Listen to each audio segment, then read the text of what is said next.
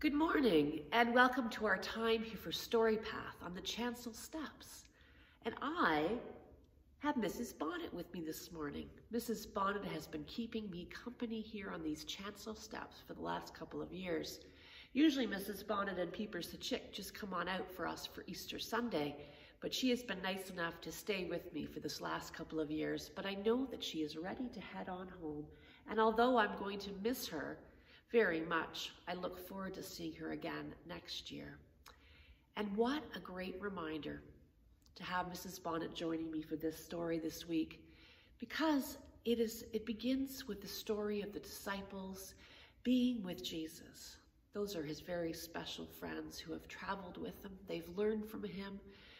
They have learned so much. They've watched so much. And boy, do they love Jesus. And soon Jesus will not be with them anymore.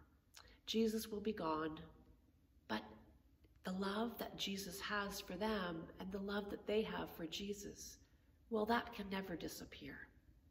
And that is why the story for this week is called The Invisible Boy. The Invisible Boy by Trudy Ludwig, about a little boy named Brian who nobody saw he played all by himself. He was very creative. He seemed to have fun just imagining his own world around him.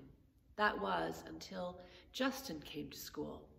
Justin was being picked on, and, and Brian saw that and invited him to be his friend. And before too long, these two were out doing things together. Brian was no longer invisible. He'd found somebody to value his friendship and cared very much for him. So, without any further ado, let's share together, shall we, Mrs. Bonnet, the story of the invisible boy.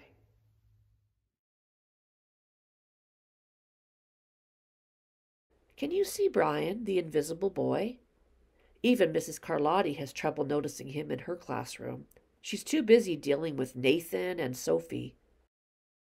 Nathan has problems with what Miss Carlotti calls volume control. He uses his outside voice inside too much. Sophie whines and complains when she doesn't get her way. Nathan and Sophie take up a lot of space. Brian doesn't.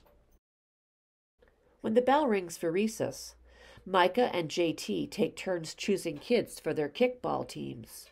The best players get picked first then the best friends of the best players, then the friends of the best friends. Only Brian is left, still waiting and hoping. JT glances in Brian's direction and just as quickly looks away. We've got enough players for each team, he tells the others. Let's play ball. In the cafeteria, Madison and her friends talk about her birthday party. The rope swing over the pool was awesome, says JT. Yeah, so was the water slide, says Fiona. That was the best pool party ever. I'm so glad you guys had fun, says Madison. Everybody did, except Brian. He wasn't invited. At choosing time, while the other kids play board games and read, Brian sits at his table doing what he loves to do best. He draws fire breathing dragons scaling tall buildings, space aliens locked in intergalactic battles, greedy pirates digging for treasure, and superheroes with the power to make friends wherever they go. On Monday morning, Mrs. Carlotti introduces Justin, a new student to the class. Brian smiles shyly at him. Some of the other kids sneak looks at Justin, trying to figure out if he's cool enough to be their friend. They haven't quite made up their minds yet. At lunchtime, Madison and JT watch Justin eat with chopsticks. What's that? asks Madison as she points at Justin's food. It's bulgogi. Bal what? Bulgogi. It's Korean barbecued beef. My grandma made it for me. It's really good. Do you want to try some? There's no way I eat bulgogi. And the kids laugh. All of them, that is, except Brian. He sits there wondering which is worse, being laughed at or feeling invisible.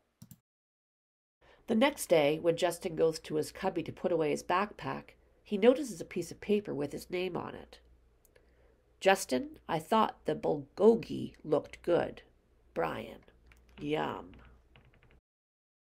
At morning recess, Brian finds a piece of chalk on the ground and starts drawing. You're Brian, right? Yeah. Thanks for the note. Hey, Justin, Emilio calls out from the tetherball court. You're up next. Sorry, I gotta go, says Justin. By the way, that's really cool drawing, he adds before talking, taking off. Back in class, Mrs. Carlotti asks the kids to team up in twos or threes for a special project. The kids scurry around the room to pair off. Brian heads towards Justin. I'm already with Justin, says Emilio. Find someone else. Brian looks at the floor, wishing he could draw a hole right there to swallow him up. Mrs. Carlotti said we have to, up to three people in our group. We're only two. Come on, Emilio, let him work with us. Okay, I guess. Mrs. Carlotti gives the class directions for the project. Your assignment is to work together to write a story about what you see in that photograph. Use your imagination and have fun. Whoa, cool, says Emilio. What kind of people do you think would live in houses like that? I don't know, but I bet Brian could draw them to go with our story, says Justin. Brian smiles as he takes out his lucky pen.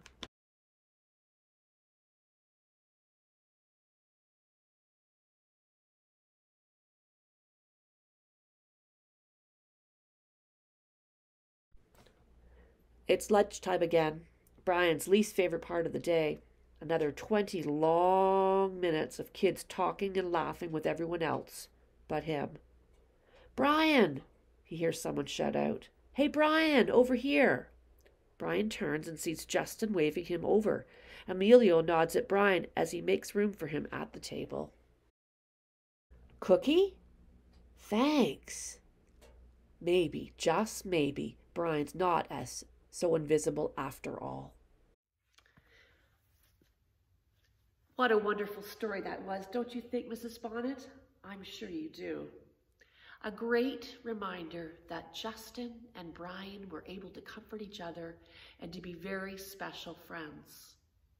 A reminder, too, that even though Jesus may not be with us physically anymore, Jesus' Spirit is always with us, providing us, too, with comfort and love, a love that we, too, are meant to share with everyone around us to let them know just how special they are as well. May we find the ways to do that, just like Brian and Justin did to support one another. Let us support each other too. Thanks for joining Mrs. Bonnet and I on the, on the chancel steps this morning for Story Path. I'll see you again next week. Bye bye. Subscribe on YouTube so that you don't miss the next story on Story Path.